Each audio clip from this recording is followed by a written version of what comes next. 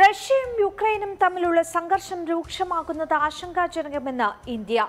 പ്രതിസന്ധി പരിഹരിക്കുന്നതിനാണ് അടിയന്തര പ്രാധാന്യം നൽകേണ്ടതെന്നും ഐക്യരാഷ്ട്രസഭയുടെ സുരക്ഷാ കൗൺസിൽ യോഗത്തിൽ ഇന്ത്യ വ്യക്തമാക്കി.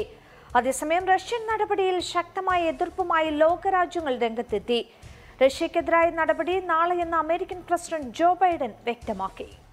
റഷ്യൻ പ്രസിഡന്റ് വ്ളാഡിമിർ പുടിൻ കിഴക്കൻ യുക്രൈനിലെ രണ്ട് വിമത മേഖലകളുടെ സ്വാതന്ത്ര്യം അംഗീകരിച്ചതായി പ്രഖ്യാപിച്ചതിനു പിന്നാലെയാണ് ഐക്യരാഷ്ട്രസഭയുടെ സുരക്ഷാ കൌൺസിൽ അടിയന്തര യോഗം വിളിച്ചു ചേർത്തത്. പ്രശ്നപരിഹാരത്തിന് വലിയ പരിശ്രമം ആവശ്യമാണെന്നും ഒരു സൈനിക നടപടി നമുക്ക് താങ്ങാനാകില്ലെന്നും യു എൻ സുരക്ഷാ കൌൺസിൽ യോഗത്തിൽ ഐക്യരാഷ്ട്രസഭയിലെ ഇന്ത്യയുടെ സ്ഥിരം പ്രതിനിധി ടി എസ് തിരുമൂർത്തി വ്യക്തമാക്കി.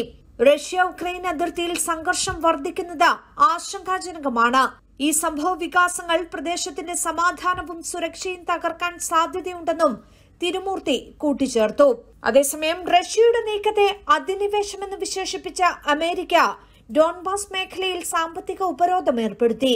കിഴക്കൻ യുക്രൈനിൽ നടന്നത് സമാധാന ശ്രമങ്ങളുടെ ഭാഗമായുള്ള നടപടിയാണെന്നും റഷ്യൻ പ്രസിഡന്റ് വ്ളാഡിമിർ പുടിൻ പറഞ്ഞതിനെ ശുദ്ധ അസംബന്ധമാണെന്നുമാണ് യു എസ് വിശേഷിപ്പിച്ചത്.